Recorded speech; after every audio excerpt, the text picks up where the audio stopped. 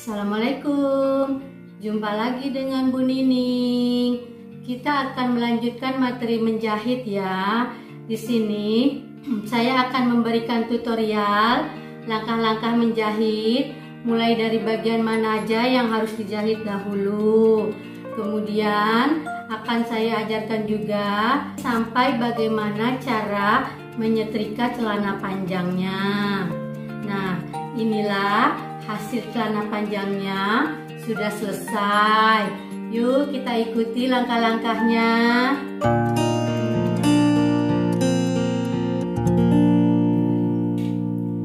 Kita mulai ya. Kita akan menjahit celana panjang ini dengan urutan ya. Urutan pertamanya sebenarnya itu menjahit kupnat-kupnatnya dulu ya.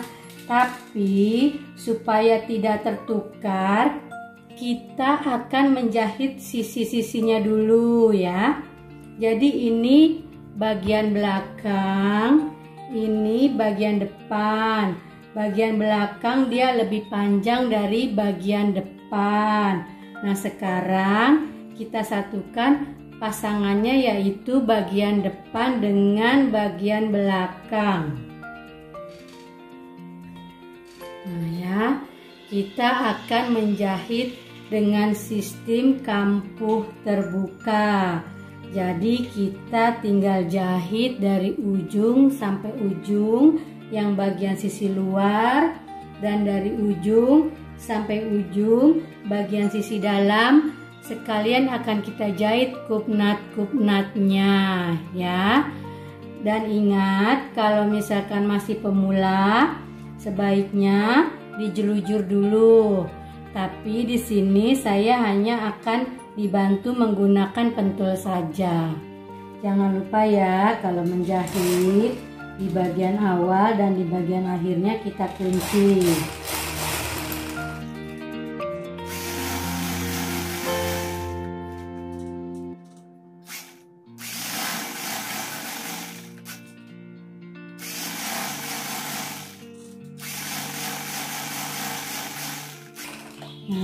lupa juga di bagian ujung kakinya menjahitnya jangan ke dalam gini, jangan ke dalam gini, tapi agak belok sedikit.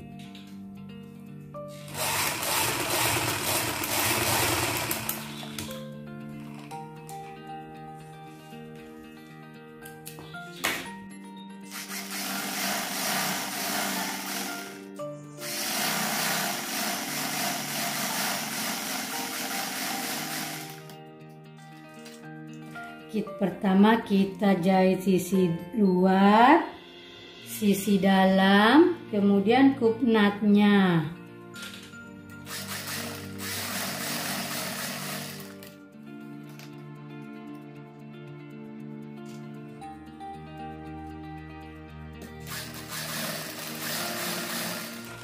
Jangan lupa untuk kupnat-kupnatnya ujung-ujungnya itu harus dikunci karena kalau kupna tidak dikunci nanti lama-lama dader ketika dicuci. Ya selesai untuk satu bagian kita kerjakan satu bagian lagi. Nah ini sudah selesai kita jahit kedua-duanya. Bagian kakinya ya dia jangan ke dalam jahitnya tapi keluar. Kemudian setelah kita jahit ini, jangan kita langsung jahit pesaknya, tapi kita setrika dulu uh, ini dengan cara dibuka seperti ini ya.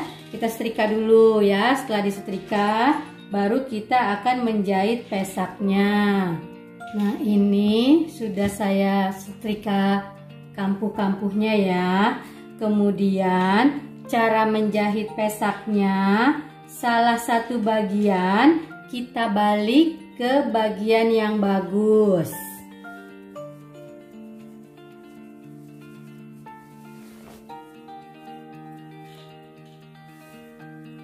Nah, satu bagian bagus, satu bagian lagi yang jeleknya atau bagian dalam.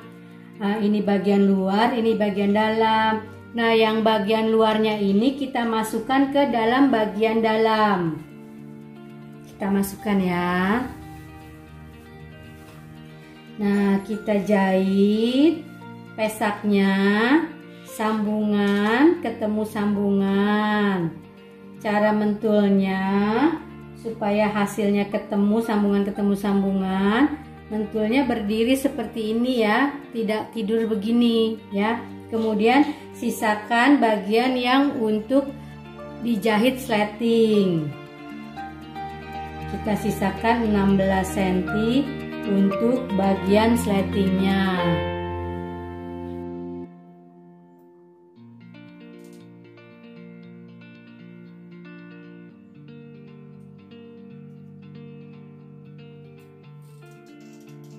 Kita mulai menjahitnya dari bagian yang akan dipasang sleting. Jangan lupa dikunci dulu ya.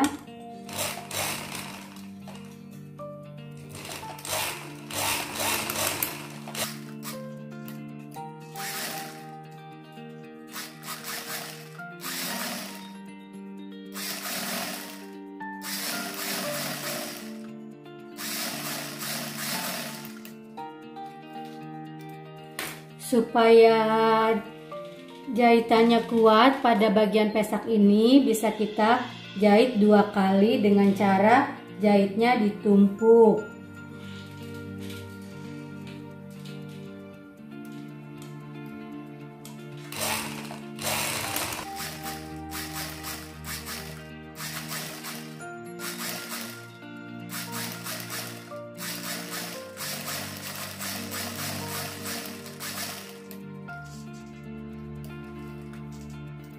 Nah, sisa sisa yang belum dijahit ini akan kita jelujur untuk masang sleting Jepang.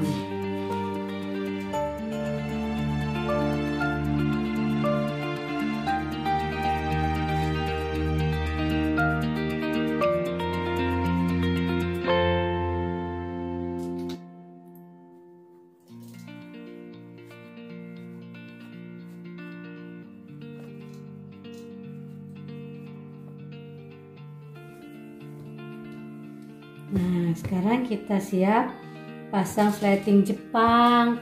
Cara pasang sleting Jepangnya tidak seperti pasang rok. Kalau pasang rok, bagian plastiknya ini kita simpan di bawah rudder ini. Jadi, sisanya ke bawah.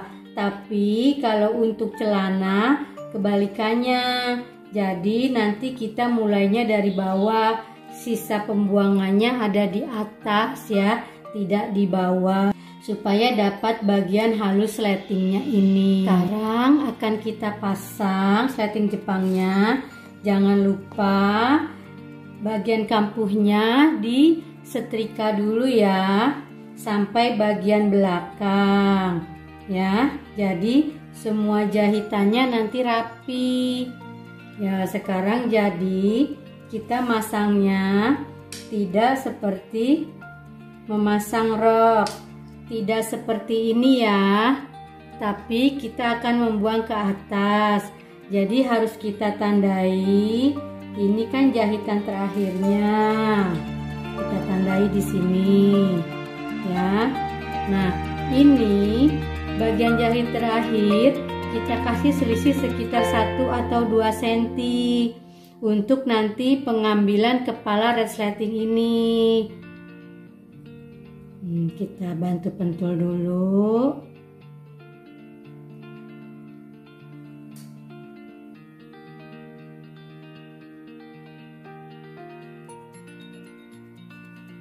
Kemudian kita jelujur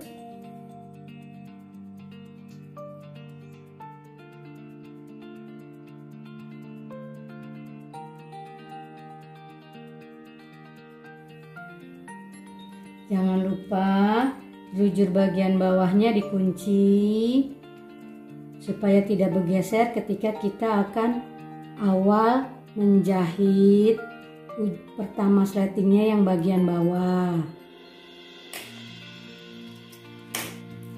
kita tutup kemudian bagian satunya lagi kita telujur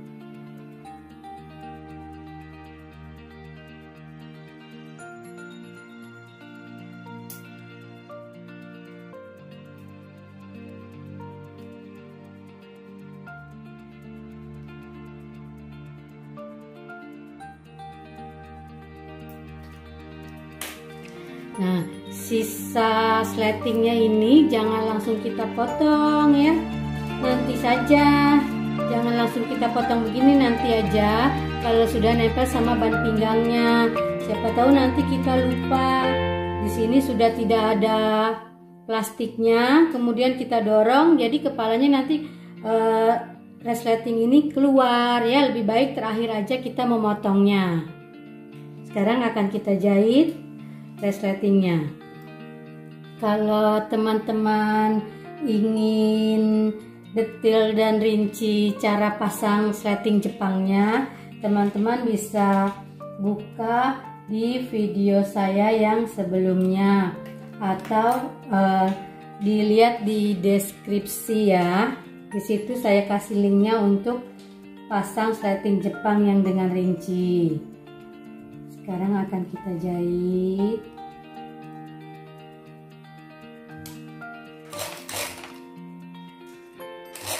Jangan lupa dikunci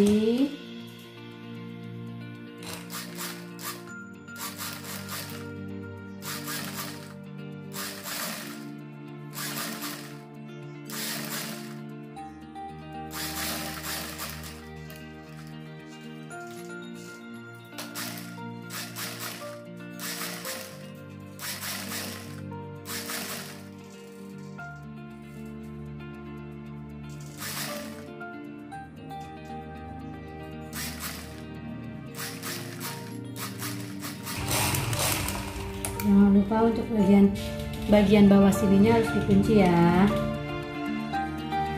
Nah setelah pasang sleting Jepang sekarang akan kita siapkan untuk pasang ban pinggangnya.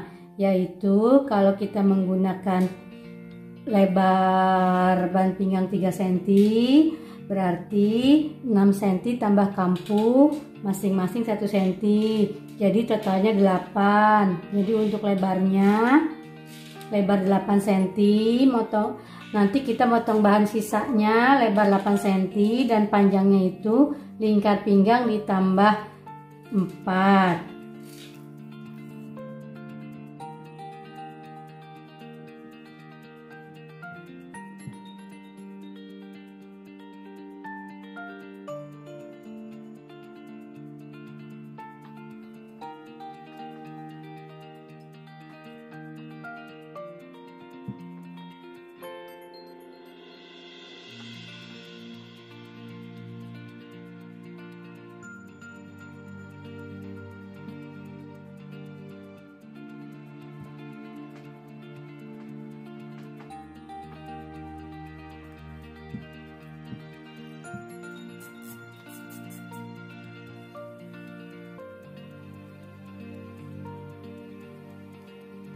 ini sudah kita setrika ya. Jadi nanti yang bagian ini dekat ban pinggangnya yang kita jahit. Nah ini langsung kita setrika begini supaya nanti memudahkan kita ketika menjahit. Sekarang akan kita jahit ya. Bagian pertama yang akan kita jahit ini kita kasih kampu 1 cm karena lingkar pinggang ditambah 4 ya kan? Jadi buat kampu yang pertama 1 cm nanti sisanya 3 cm kita jahit. Seperti biasa ya kalau belum biasa menjahit jangan lupa dijelujur saya selalu mengingatkan seperti itu karena kalau belum biasa menjahit tidak dijelujur terus salah nanti akhirnya bongkar-bongkar juga ya. Jadi lebih baik dijelujur waktu menjahit tidak boleh kena yang putihnya atau kain kerasnya tapi juga tidak boleh jauh-jauh. Jadi persis di bawah yang kain kerasnya.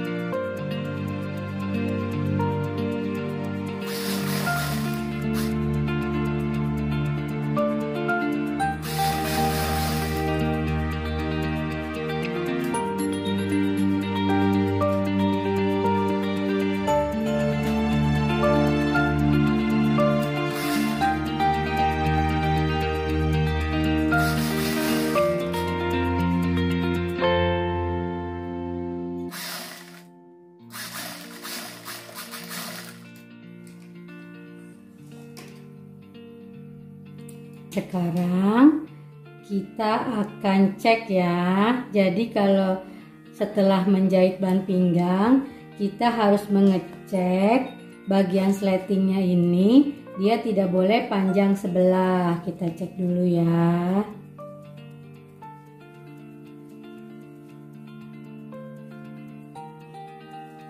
Oke, pas ya.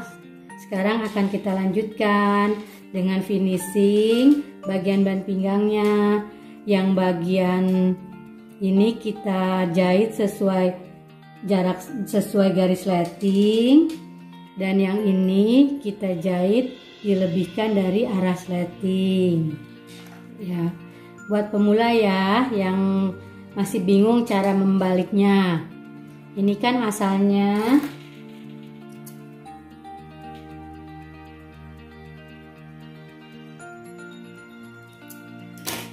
Ini kan asalnya seperti ini.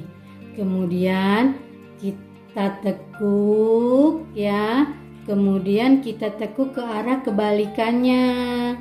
Kemudian kampunya juga kita tekuk. Nah, baru kita pentul.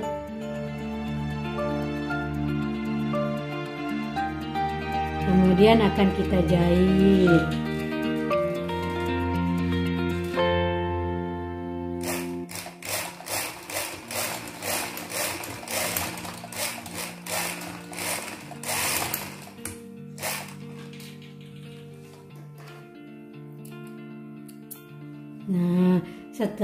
Dijahit rapi seperti ini,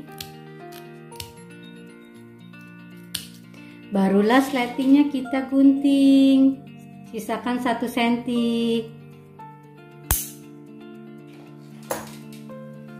Nah, kita tekuk ya, kita tekuk. Kemudian kita balik. Nah, hasilnya seperti ini. Nanti untuk bagian tekukannya ini sudah siap rapi, kita tinggal jelujur aja. Kemudian yang bagian satunya lagi ya, kita tekuk, kita tekuk juga.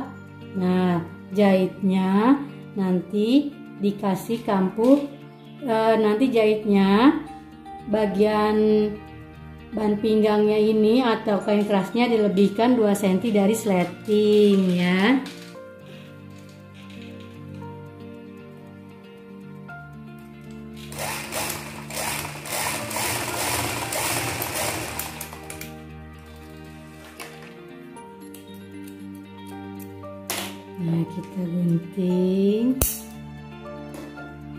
Kita tekuk kembali, kemudian kita balik. Ya. Baru kita rapikan sekelilingnya dengan cara bagian kampungnya ini sisa-sisanya kita bawa ke atas, kemudian kita tekuk seperti ini, kemudian akan kita pentul keliling baru kita jahit dan seperti biasa kalau untuk pemula sebaiknya setelah dipentul dijulur dulu baru dijahit. Kita bawa ke atas ini sisa kampuhnya.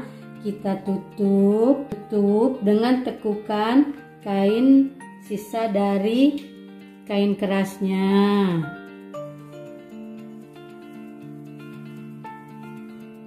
Sekeliling ya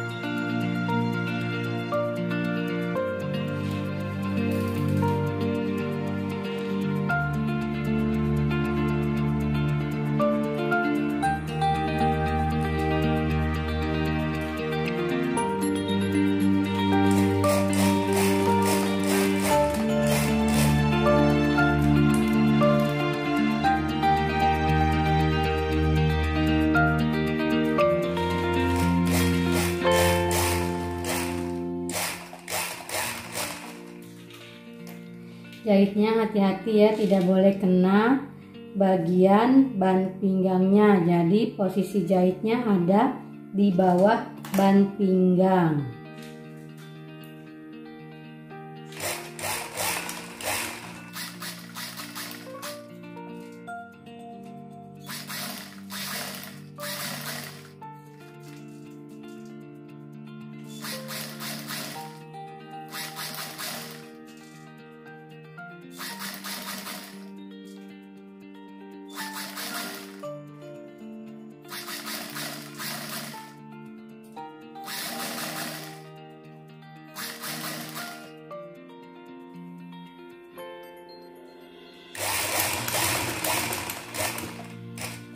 Nah, untuk yang bagian terakhir ini jahitnya boleh ke atas karena kan tidak ada pegangan pada bagian celananya ini ya. Jadi kita langsung ke atas sedikit tapi tetap di pinggiran ya.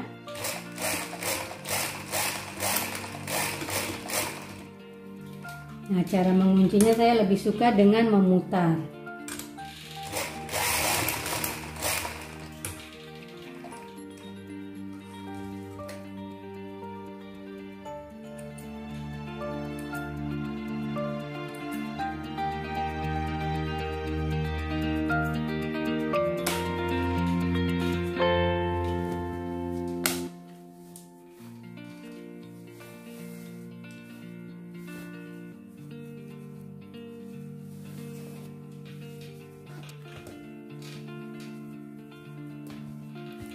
Selesai.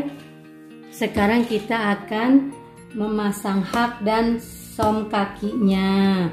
Jangan lupa ya kalau som kaki itu tidak boleh jauh-jauh.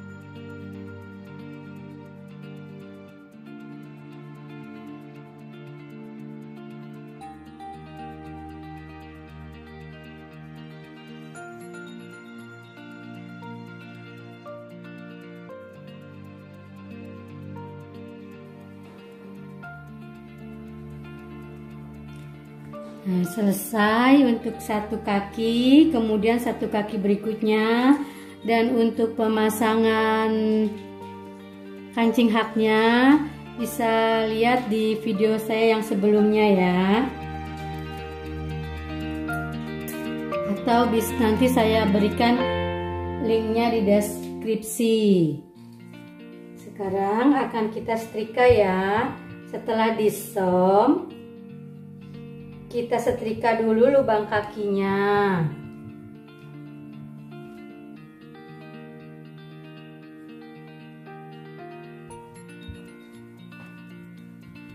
Kemudian ban pinggangnya.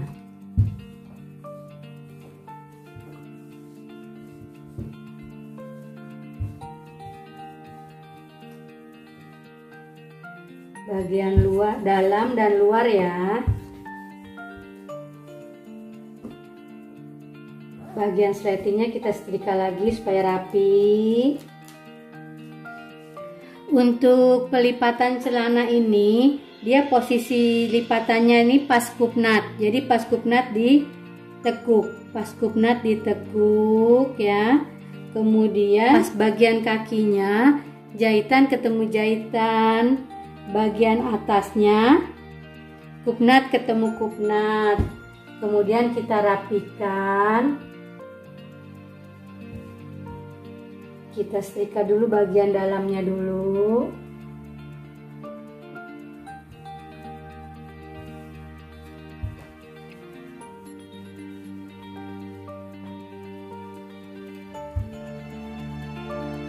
Nah yang bagian ini pas di garis kupnat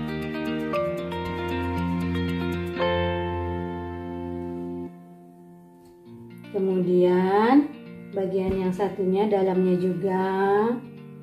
Sambil kita ratakan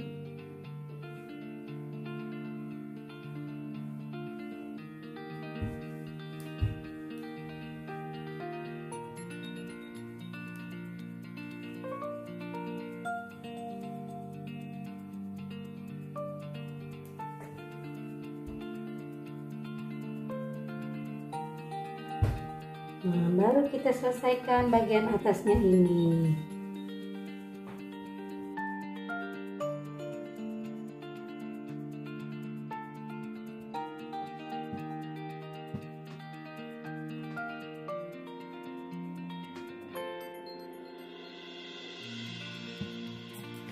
Demikianlah tutorial untuk membuat celana panjang ini.